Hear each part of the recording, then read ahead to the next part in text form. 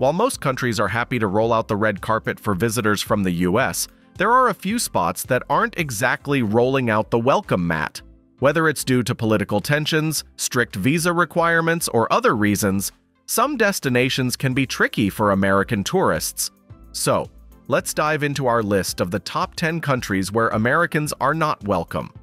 We'll explore why these places made the cut and what factors keep them on this list.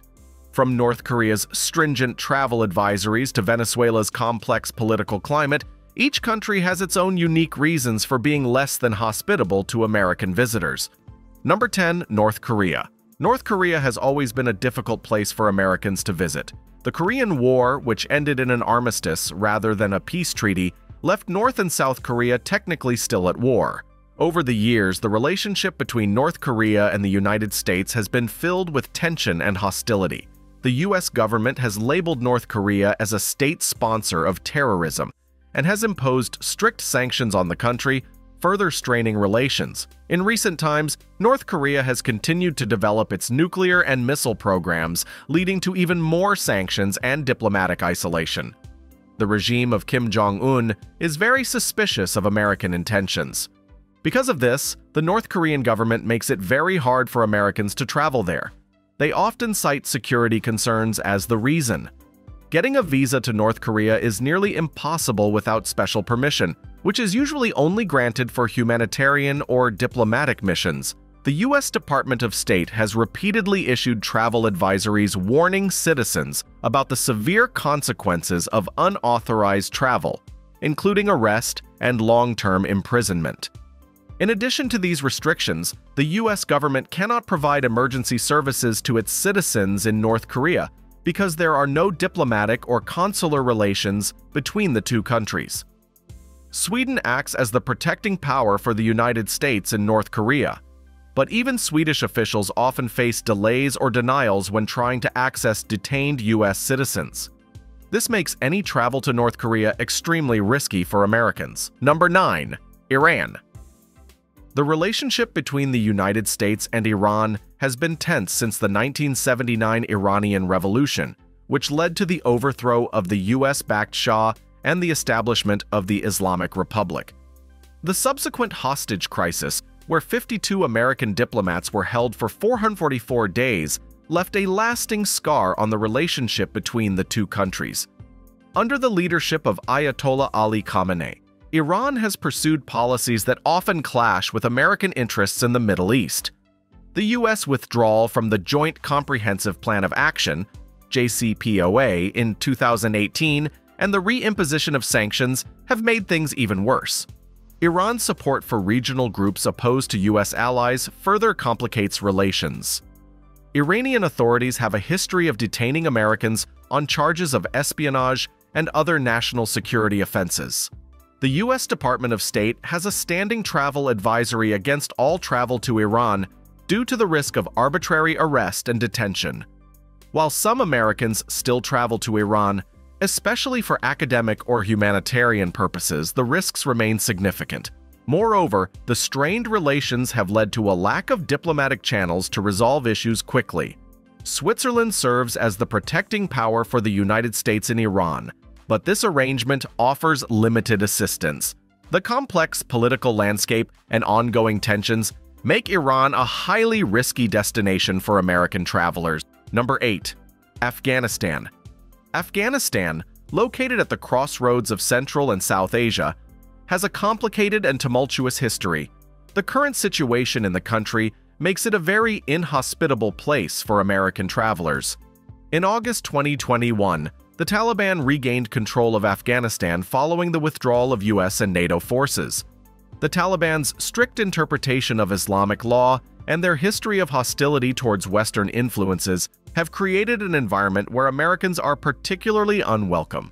Afghanistan remains a hotspot for terrorist activities, with groups like ISIS-K posing significant threats. The possibility of attacks, kidnappings, and other forms of violence is very high, making it an unsafe destination for Americans. The Taliban's return to power has raised serious concerns about human rights violations, especially regarding women's rights and freedom of expression. The oppressive regime has led to widespread fear and instability, deterring not only American travelers but also the international community from visiting Afghanistan. The U.S. Department of State has issued severe travel warnings advising American citizens against all travel to Afghanistan. The lack of a functioning U.S. embassy in Kabul further complicates any potential travel plans, as consular support is extremely limited. The deteriorating humanitarian crisis and economic upheavals have only added to the country's vulnerabilities, making it a highly dangerous place for Americans to visit. Number 7. Russia. The relationship between the United States and Russia has been fraught with tension, even after the end of the Cold War. Despite the dissolution of the Soviet Union, several issues have kept the two nations at odds. One major point of contention is NATO's expansion, which Russia views as a direct threat to its security. Additionally, conflicts in Ukraine and Syria have further strained relations. Russia's annexation of Crimea in 2014 and its military involvement in eastern Ukraine led to significant sanctions from the US and its allies. These actions were seen as violations of international law and sovereignty, prompting a strong response from the West. Moreover, accusations of Russian interference in the 2016 and 2020 US elections have exacerbated the already tense relationship the US government has accused Russia of using cyber tactics to influence the outcomes of these elections, thereby undermining American democracy. This has led to a series of retaliatory measures, including sanctions and diplomatic expulsions. For Americans traveling to Russia, the situation is increasingly precarious. The Russian government has detained U.S. citizens on espionage charges, often without clear evidence travel advisories from the U.S. State Department highlight the risks of arbitrary enforcement of local laws and potential harassment by Russian authorities. These advisories strongly recommend that Americans avoid travel to Russia due to the heightened risks involved.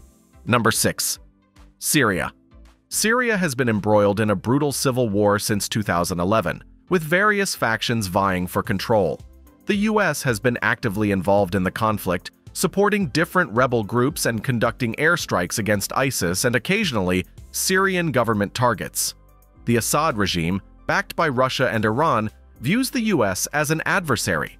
Recent developments have seen the Assad regime regain control over much of Syria, thanks to the support of Russian and Iranian forces. The humanitarian crisis in Syria is dire, with ongoing violence and political instability making it one of the most dangerous places in the world the US maintains sanctions against the Assad regime and supports efforts to hold it accountable for war crimes.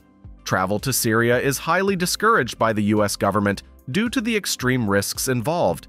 Americans face a high risk of kidnapping, arbitrary detention, and death due to the ongoing conflict and terrorist activity. The U.S. Embassy in Damascus suspended operations in 2012, and consular assistance is virtually non existent. Number 5. Saudi Arabia. While Saudi Arabia is not explicitly unwelcoming to Americans, it poses significant cultural and legal challenges for American visitors. The kingdom follows a strict interpretation of Islamic law, which can be drastically different from American norms.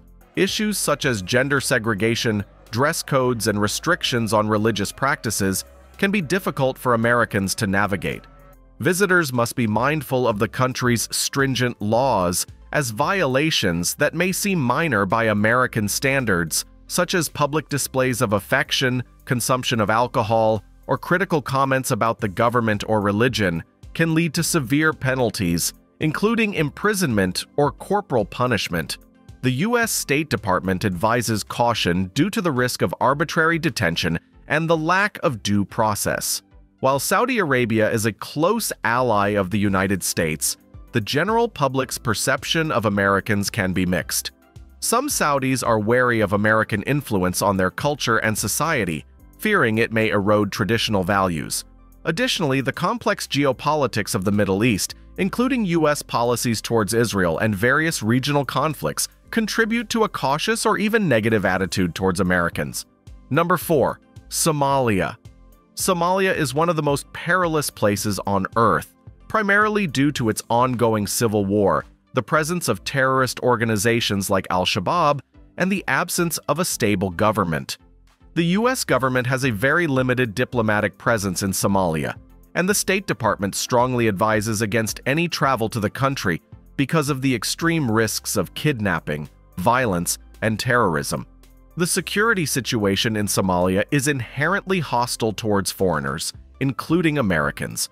Al Shabaab has specifically targeted Americans and Westerners in the past, making any American presence in the region a magnet for unwanted attention and increasing the risk of being singled out for attacks or abduction. The humanitarian crisis in Somalia, marked by famine, displacement, and a lack of basic services, further complicates travel. These dire conditions mean that even well-intentioned visits for humanitarian purposes can be fraught with danger. The combination of active conflict, criminal activity, and severe poverty creates an environment where Americans are particularly vulnerable. Additionally, the lack of medical facilities and emergency response services makes it extremely difficult to get help if something goes wrong. Pirates are also active in the waters off the Horn of Africa, especially near Puntland, adding another layer of risk for those considering maritime travel. Moreover, the US government has extremely limited ability to assist US citizens in Somalia because there is no permanent consular officer in the country, including the Somaliland region, if a traveler's passport is lost, stolen, or expires, or if the traveler becomes destitute, the US government may be unable to provide assistance. Some schools and other facilities act as rehabilitation centers and de-westernization camps existing throughout Somalia with little or no licensing and oversight. Reports of physical abuse are common, and people often report being held against their will in these facilities. In addition to these challenges, there are frequent reports of U.S. citizens who have their passports taken by family members, leaving them unable to depart Somalia. This often occurs when U.S. citizens travel to Somalia to visit family or attend an event. Some adult U.S. citizens are then unable to leave the international airport without explicit consent from their family. Terrorists continue to plot kidnappings, bombings, and other attacks in Somalia. They may attack with little or no warning, targeting airports, seaports, and government buildings. Terrorists also target hotels, restaurants, shopping areas, and other places that attract large crowds and tourists. Government, military, and other convoys, including those carrying tourists, are also targets. Methods of attack can include car bombs, suicide bombers, individual attackers, and rocket fire, among others. While some areas have experienced less severe terrorist activity, such as the Somaliland region, terrorist attacks involving the indiscriminate use of explosive devices and other weapons can take place anywhere in Somalia at any time without warning. The U.S. Embassy imposes strict limits on employee movement in Mogadishu based on the critical threat environment. Civil unrest, including protests and demonstrations, occurs throughout Somalia and can sometimes be violent. Medical facilities in Somalia have limited capacity and are often absent in rural areas. Pirates are active in the waters off the Horn of Africa, especially off the coast of Puntland. Due to risks to civil aviation operating within or in the vicinity of Somalia, the Federal Aviation Administration has issued a special federal aviation regulation. For more information, U.S. citizens should consult the Federal Aviation Administration's prohibitions, restrictions, and notices. If you decide to travel to Somalia, it is crucial to review your personal security plan and visit the State Department's page on travel to high-risk areas. Make a plan to exit Somalia if the situation gets worse. Identify multiple options for leaving Somalia and know the entry requirements for U.S. citizens into neighboring countries avoid sailing near the coast of Somalia, and review the live piracy report published by the International Maritime Bureau. Draft a will and designate appropriate insurance beneficiaries and or power of attorney. Discuss a plan with loved ones regarding care, custody of children, pets, property, belongings, non-liquid asset, funeral wishes, etc. Share important documents, login information, and points of contact with loved ones so that they can manage your affairs if you are unable to return as planned to the United States, find a suggested list of such documents here. Make your own personal security plan with your employer or host organization, or consider consulting with a professional security organization. Develop a communication plan with family and or your employer or host organization if you are traveling on business so that they can monitor your safety and location as you travel through high-risk areas. This plan should specify whom you would contact first and how that person should share the information. Identify key sources of possible assistance for you and your family in case of emergency, such as your employer if traveling on business, and local friends, family, as well as friends, family outside Somalia. Appoint one family member to be the point of contact with hostage takers and media. Appoint a family member to be the contact for the U.S. and host country government agencies, and members of Congress if you are taken hostage or detained. Discuss a proof of life protocol with your loved ones so that if you are taken hostage, your loved ones can know specific questions and answers to ask the hostage takers to be sure that you are alive and to rule out a scam. Leave DNA samples with your medical provider in case it is necessary for your family to access them.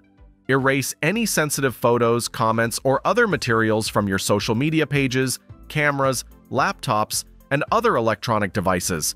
These could be considered controversial or provocative by local groups. Leave your expensive, sentimental belongings behind. Enroll your trip in the State Department's Smart Traveler Enrollment Program. Follow the Department of State on Facebook and X. Review the country security report for Somalia. Prepare a contingency plan for emergency situations. Review the traveler's checklist. Visit the CDC page for the latest travel health information related to your travel. Number 3. Libya. Libya, a North African nation steeped in history and culture, has been mired in turmoil since the 2011 civil war that ousted Muammar Gaddafi the country has struggled to find stability, with various militias and factions vying for control.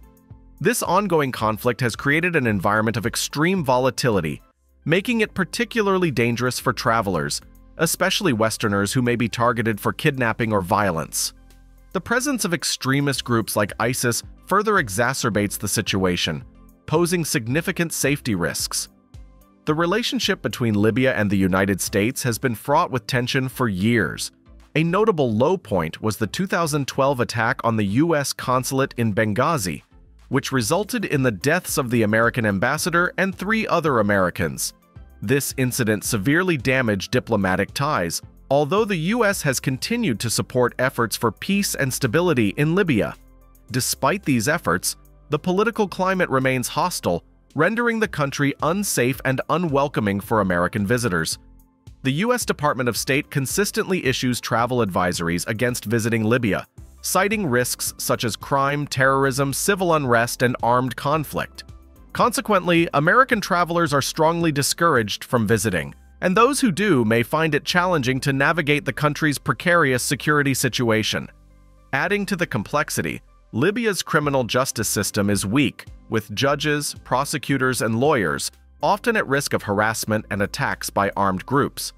Military courts continue to try civilians, and many detainees face prolonged detention without trial in inhumane conditions.